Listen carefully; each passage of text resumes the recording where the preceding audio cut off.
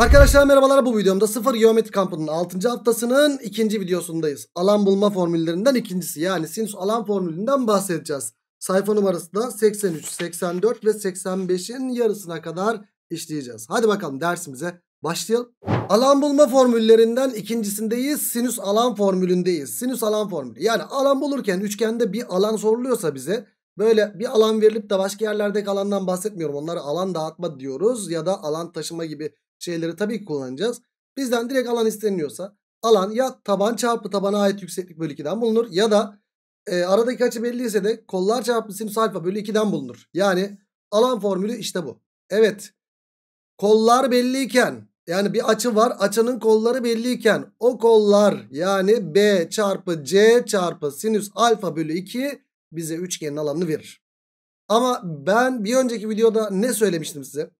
Şekilde 90 derecede özel bir açı varsa alan %99.9 nereden çıkar demiştim? Tabana ait yükseklikten çıkar demiş miydim? Demiştim. Bu sözüm hala daha geçerli. Şimdi bu soruları yaparken de yine iki yoldan yapacağım. Bir sinüs alan formülünden bir de şeyden. Yani bana kalırsa tabii ki sinüs alan formülünü bileceksiniz. Trigonometride falan da karşınıza çıkıyor. Ama çok fazla kafanızda takmanızı da istemem. Çünkü tabana ait yükseklik burada da çok işimize yarıyor. Şimdi hep bütün soruları ben iki yoldan çözeceğim burada. Kaşınıyorum biraz ama olayı çok net bir şekilde öğreneceksiniz. Hiç merak etmeyin. Yani olayın mantığını öğreneceksiniz burada. Mesela bu soruda 30 verilmiş 6 verilmiş 8 verilmiş. Hocam birinci yol diyelim şuraya. Birinci yol çok basit. 6 çarpı 8 çarpı sinüs 30 bölü 2 eşit. E sinüs 30'u bulmak için bana bir dik üçgen lazım şöyle bir. 30 60 90 üçgeni. 30'un karşısı 1 ise 90'ın karşısı 2. 60'ın karşısı kök 3. Sinüs 30 karşı bölü hipotenüsten 1 bölü 2. Yani şurada 6 çarpı 8 çarpı 1 bölü 2 bölü 2 bize sonucu verecektir. Bölü 2 bölü 4 yaptı. Şu 2 mi yaptı? Evet. Cevapta kaç yapmış oldu? 12 yapmış oldu. Hadi gelin şimdi özel açı var ya biz bildiğimiz yerden yapalım. Ne? Tabana ait yükseklikten. İkinci yol. İkinci yolda maviyle gösteriyorum. İkinci yolda bizim bildiğimiz yol. Yani bizim bildiğimiz yol nedir arkadaşlar? Tabana ait yükseklik. Şekilde 90 derecede özel bir açı var mı? Var. Üçgenin alanı %99.9 tabana ait yükseklikten çıkar. İster 8 tabanına ait yüksekliği çiz ister 6 tabanına ait yüksekliği çiz. Hop 8 tabanına ait yüksekliği çizince bak ne çıktı? 30 60 90 üçgen çıktı. 90'ın karşısı 6 ise 30'un karşısı 3. A taban belli. 8 yükseklik belli. 8 çarpı 3 bölü 2 değil midir alan? Aynen öyle. 3 kere 8 24 bölü 2'den cevap ne çıktı o zaman? 12 çıktı. Bakın bu. Yani sinüs alana gerek var mı? Yok tabii ki. Hani taban varsa tabana ait yüksekliği de rahat bir şekilde bulabilirsiniz. Size kalmış size bırakıyorum. İster sinüsü bil. Tabii bilmek zorundasın. Ama her yerde kullanmak zorunda değilsin. Bak şimdi geldik bu soruya. Şimdi alanı vermiş bana. İster birinci iki, iki yoldan yapalım yine. Birinci yol nedir? Hocam şurada 60'ın kolları 2 kök 3 ve x. Yani 2 kök 3 çarpı x çarpı sinüs 60 bölü 2 eşittir alan. Alanı ne demiş? 24 demiş. E burada bölü 2'ler gitti. Sinüs 60'ı bulalım. Şu 30 60 90 üçgeninde 1 2 kök 3 olduğunu biliyoruz. 60'ın karşı bölü hipotenüsü kök 3 bölü 2. Yani kök 3 çarpı x çarpı sinüs 60 yerine kök 3 bölü 2 yazacağım. Kök 3 bölü 2 eşittir 24 olduğundan kök 3 ile kök 3'ün çarpımı 3. 24 ile sadeleşti 8. 2 ile de 8 çarptım 16. X'i böylelikle 16 olarak buluruz. Ya da ikinci yol. Hemen ikinci yolu bir şey yapalım. Arkadaşım şekilde 90 derecede özel bir açı var. E, alan da verilmiş bize. Tabanına ait yükseklikte sonuca ulaşırız. Hop şu x taban olarak kabul edelim istersen. Sonuçta x isteniyor bizden. E, bu tabana ait yükseklik bir 30 60 90 üçgen oluştu. 90'ın karşısı 2 kök 3 30'un karşısı kök 3. 30'un karşısından 60'ın karşısına geçiş kök 3 kat. Kök 3'ün kök 3 katı ne yapıyor? 3 yapıyor. E şimdi taban x. Yükseklik 3. x çarpı 3 bölü 2 eşittir 24 verilmiş. Sadeleştirdiğimiz zaman 8 2 kere 8 16. X de böylelikle 16 buluruz. Tabana ait yükseklik bakın çok güzel bir şekilde çıkıyor. Yeter ki özel açı olsun ya da 90 derece alsın. Üçgenin alanı taban çarpı tabana ait yükseklik bölü 2'den çıkar mı çıkar. Geldik bir sonraki soruya. 45 90 bu 45. Hocam 45 45 90 üçgeni verilmiş ve şuradaki uzunluk 8 kök 2 verilmiş. 45 45 90 üçgende dik kenardan hipotenüse geçiş kök 2 kat. O zaman hipotenüsten dik kenara geçişte kök 2'ye bölünmüş hali. Yani 8'e 8 yapacak burası. O zaman buraya ne kaldı? Buraya 6 kaldı. Evet burası 6 oldu. A şu alan şeyi bulalım artık. Alan CDE'yi bulalım. Alan CDE neye eşittir kardeşim? Hocam 6 var 3 kök 2 var. Kol, bir de açı var arasında. E o zaman 6 çarpı 3 kök 2 çarpı sinüs 45 bölü 2 diyeceğiz. Arkadaşım normalde hadi yazayım neyse 6 çarpı 3 kök 2 çarpı sinüs 45 dediğimiz 1 bölü kök 2'dir. Ee, şey yapamazsak hemen şöyle şu 45 45 90 üçgen çizersiniz. 1 1 kök 2 ya. Sinüs 45 1 bölü kök 2 yapıyor. Bölü 2'den şu kök 2'ler gitsin. 18 bölü 2'den cevap kaç çıkar? 9 çıkar. Ya arkadaş ikinci yol. İkinci yol nedir?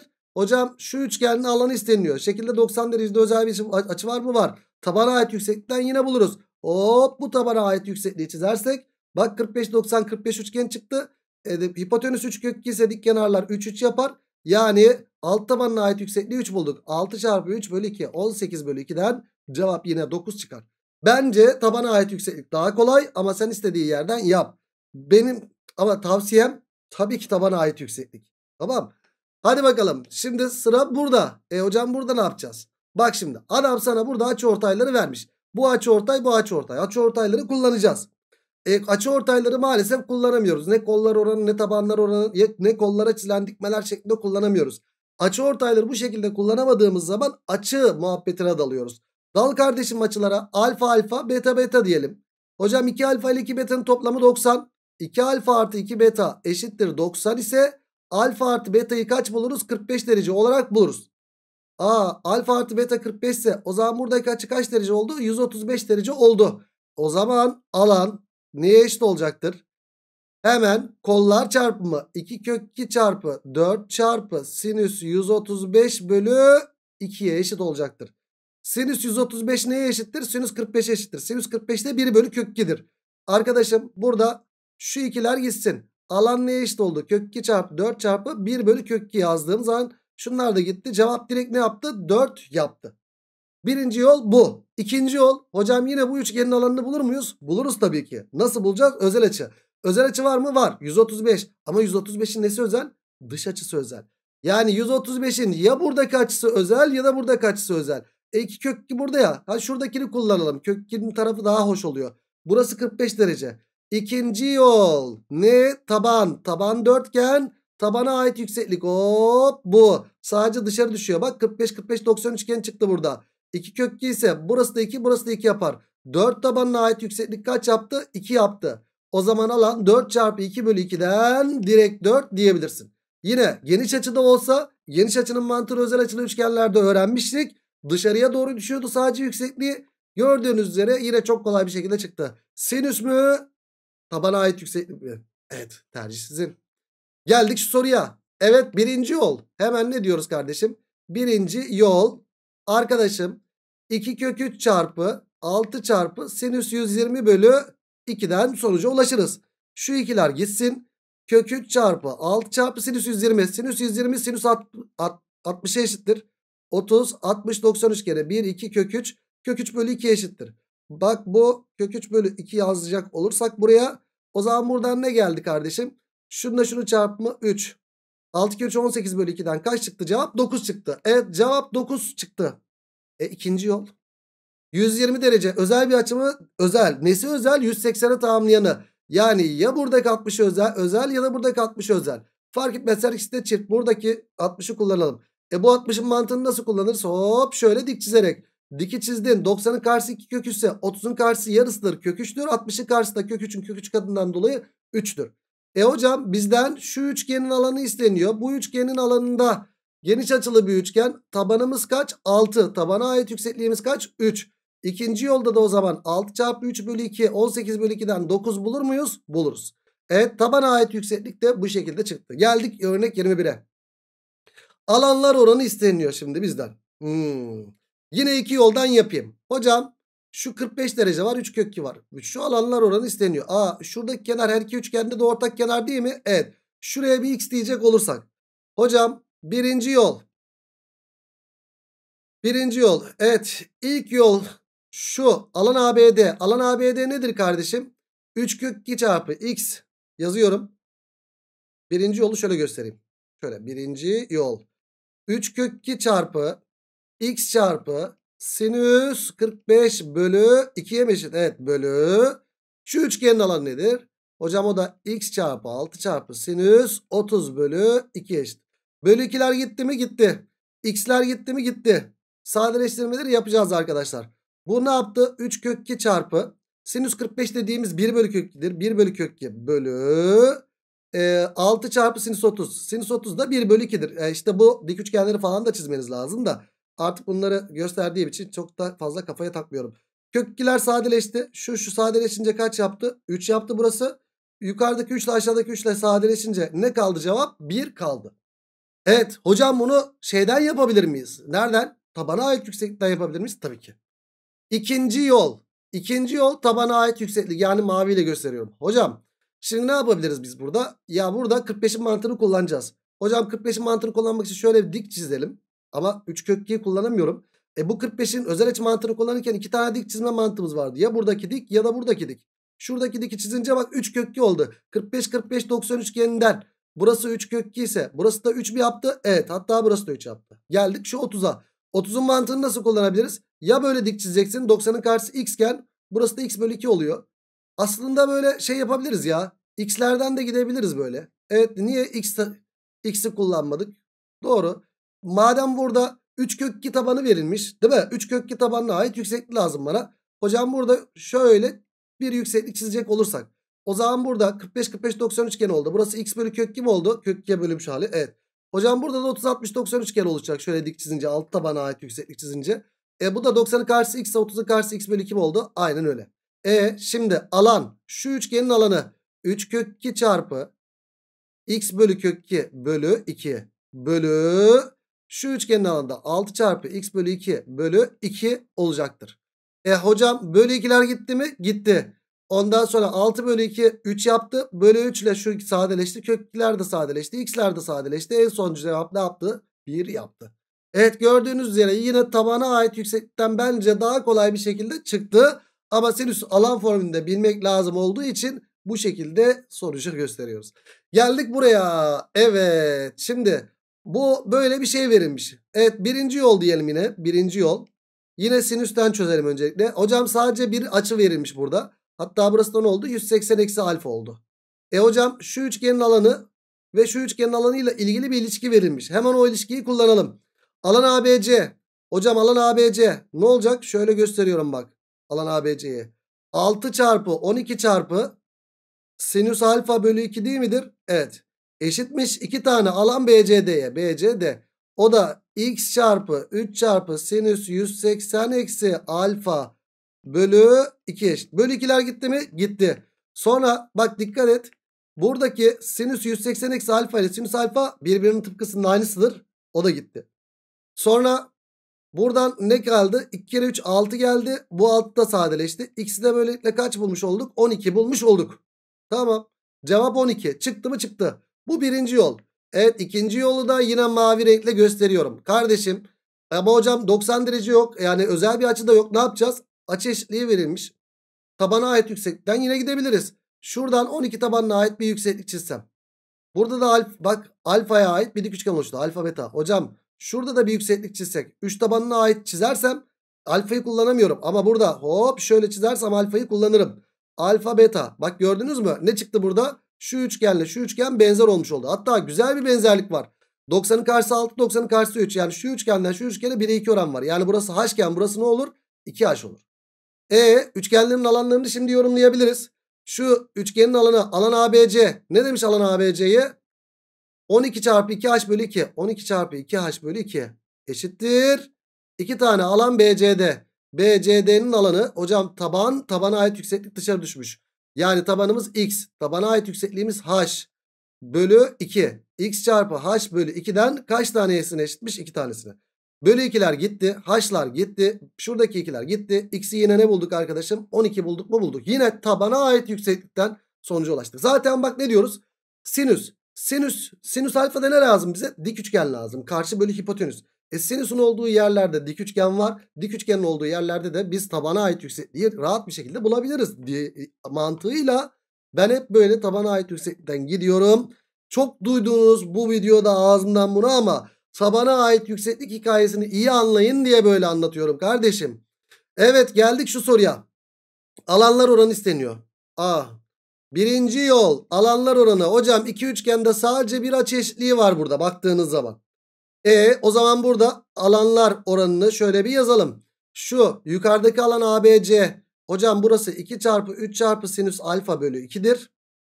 Bölü alan CDE de 4 çarpı 6 çarpı sinüs alfa bölü 2'dir. Sin alfa bölü 2'ler gitti mi? Gitti. E buradan 2 kere 3 6 bu da gitti. Cevap kaç yaptı o zaman? 1 bölü 4 yaptı. Hocam yine tabana ait yükseklikten çözebilir miyiz? Evet burada sinüs alfadan yapabilirsiniz. Bir önceki soruda da aynı şekilde. Sinüs alfa da tabii ki daha mantıklı geliyor ama yani sinüsle çözülebilen her soru tabana ait yükseklikten çıktığını göstermek için bunu da yapıyorum. Şimdi mesela 3 tabanına ait yükseklik çizdik şöyle. Hocam burada da ister böyle alt tabanına ait çiz ister 4 tabanına ait çiz fark etmez. Bu çizersek daha kolay güzel olur. Çünkü bunlar birbirine paralel aynı doğruya dik. En azından kelebek benzerliği çıkmış oldu. Kelebek benzerliği çıktı burada. Kelebekteki oran kaç?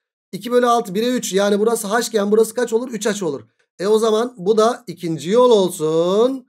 İkinci yolda o zaman 3 tabanına ait yükseklik h. 3 çarpı h bölü 2 bölü 4 çarpı 3 h bölü 2 4 çarpı 3 h bölü 2. Bölü 2'ler gitti 3 h'lar gitti. Cevap yine ne yaptı? 1 bölü 4 yaptı gördüğünüz üzere. Tabana ait yükseklik tam bana göre. Evet geldik örnek 24'e. Heh şimdi ne yapacağız? Hocam bak ne diyor? Alan AF. Şuradaki alanla şuradaki alanla hangi alan eşit verilmiş? CDF'nin alanı eşit verilmiş. Evet trigonometride böyle sinüs alan formülü anlatıldığında çözülen en klasik sorulardan biridir arkadaşlar. Şimdi burada bu alanların eşitliğini biz nasıl kullanacağız? Hocam şu üçgenlerde hiç iki kenar yok. O zaman ben bu üçgenleri yoğunlaşmayacağım. Ama bu alanların eşitliğini kullanacağım. Buraya A alanı buraya da A alanı diyeyim. E boşluğa B alanı dersem bak A alanlarını kullanmıyorum ya da A üçgenlerini kullanmıyorum ama buraya B dersem hem burası A artı B yaptı. Hatta şunu şöyle kırmızıyla göstereyim. Hem kırmızı üçgen A artı B yaptı. Hem de mavi üçgen A artı B yapmadı mı kardeşim? Yaptı. Şu alttan şöyle gözüksün. Hem de mavi üçgen A artı B yaptı. O zaman A artı B alanını şöyle gösterebiliriz. A artı B alanını ve şu kırmızı üçgende ve mavi üçgende ortak olan bir yer var. Neresi? Açı. İşte buradaki açı.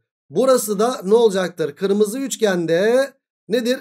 Kollar x artı 2 ve 6. Bak dikkat et. Kırmızı üçgenin kollarına dikkat et. x artı 2 ve 6. Dikkat. O zaman yazayım. Kırmızı üçgende x artı 2 çarpı 6 çarpı sinüs alfa bölü 2 eşittir. Aynı zamanda a artı b mavi üçgende neye eşittir arkadaşlar? Bak kolları 2 ve 9. 2 çarpı 9 çarpı sinüs alfa bölü 2 eşittir.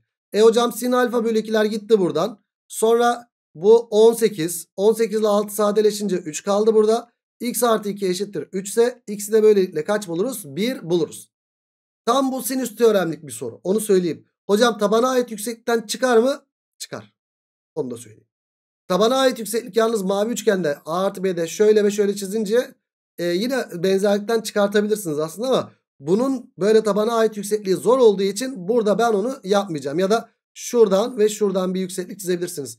Hatta ben size yolunu söyleyeyim şöyle. Bir buradan yükseklik bir de buradan yükseklik çizdiğin zaman benzerlik oranı kaç burada? 2 bölü 2 artı x. Yani burası 2h iken burası da 2 artı x'in h katı diyebilirsiniz. Ee, kırmızı kırmızı üçgendeki yükseklik bak taban altı yükseklik 2 artı h. Hatta yapayım ikinci yol. Dayanamayıp ikinci yoldan yapıyorum. Kırmızı üçgenin alanı nedir? A artı B alanı nedir arkadaşım? 6 çarpı 2 artı x h bölü 2'ye eşit. Bu aynı zamanda mavi üçgenin alanı da A artı B ya. Mavi üçgende de taban 9 tabana ait yükseklik de 2h. 9 çarpı 2h bölü 2. Bölü 2'ler gitsin. H'lar gitsin. 6 ile 18 sadeleşsin. 3 kaldı. 2 artı x eşittir 3 ise x de yine 1 olarak bulur muyuz? Buluruz.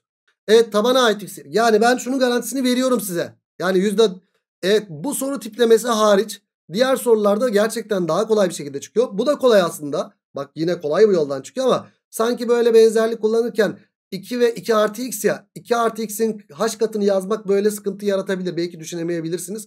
Bu soru tipi hariç çoğu soru tipinde sinüs alan formülünden yapmaktaysa bu şekilde tabana ait yükseklik çok mantıklı oluyor arkadaşlar. Çünkü sinüs teoreminin olduğu her soruda bir dik üçgen oluşturulabilirlik vardır. Dik üçgen oluşturuyorsan 90 derece varsa tabana ait yükseklikten de sonuca ulaşırsın. Evet geldik şuraya. Örnek 25'e. Ali Bey uzunluğunu 4 burayı 9 vermiş. Şöyle bir katlama yapılmış. Aa burada da bir açı verilmiş. Şuraya ben bir alfa dersem BAD açısını alfa dersem CAD açısını oldu alfa artı 30 oldu. Burası alfa artı 30 oldu. Peki şimdi şöyle bir katlama yapılmış. Şimdi katlamada eski haline geri açıyoruz öncelikli olarak. Şu eski haline geri açtım. Bu eski haline geri açtığım zaman buranın alfa buranın alfa üst üste binen kenarların birbirine eşit olduğunu 4 ise 4. Şu kenarlı şu kenar birbirine eşit olacak. Açılar birbirine eşit olacak. Tamam. A, bunun tamamı alfa artı 30'du. Buraya ne kaldı? 30 derece kaldı. Katlama sonucunda oluşan A, B üstü C. Evet bu üçgenin alanı isteniyor. Arkadaşım birinci yol.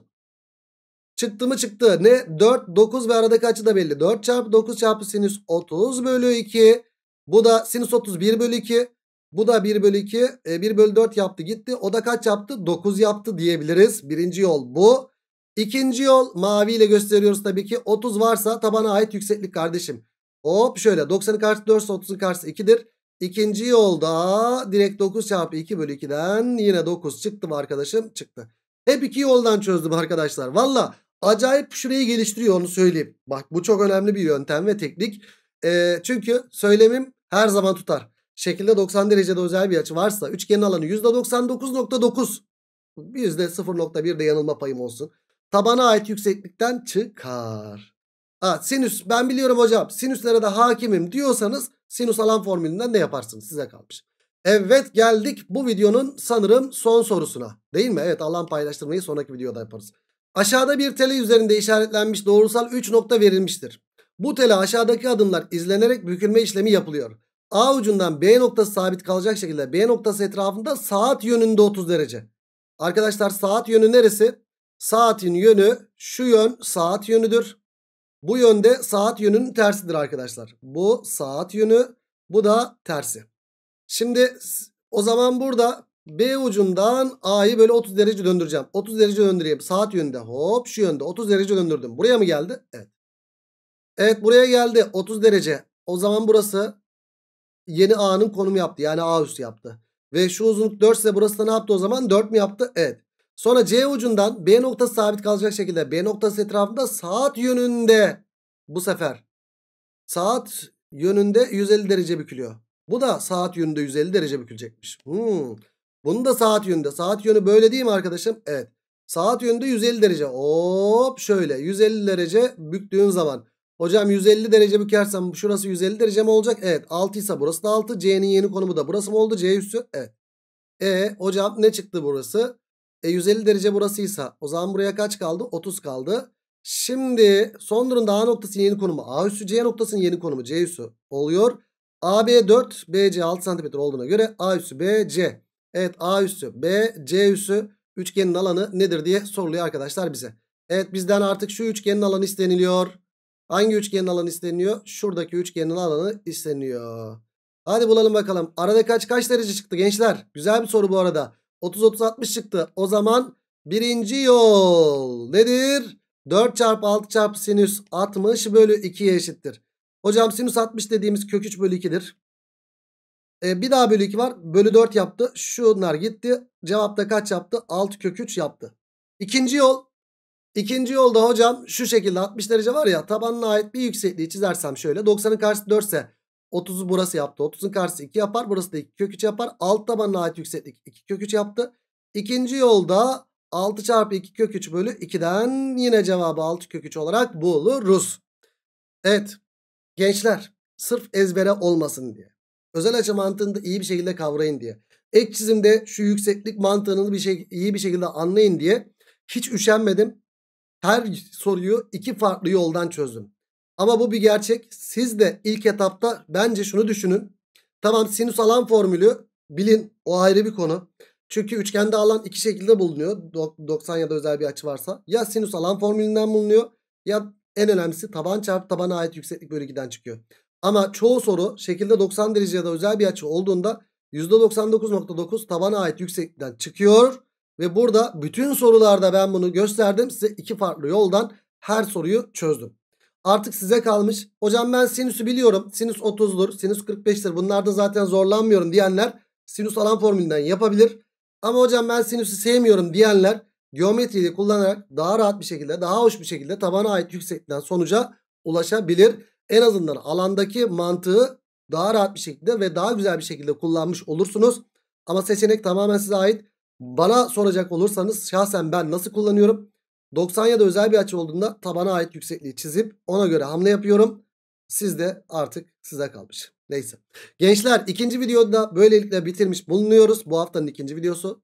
Üçüncü videoda ne yapacağız? Üçüncü videoda alan paylaştırmadan bahsedeceğiz. O zaman ne diyoruz? Bir sonraki videoda, üçüncü videoda görüşmek dileğiyle. Kendinize iyi bakın. Hoşçakalın.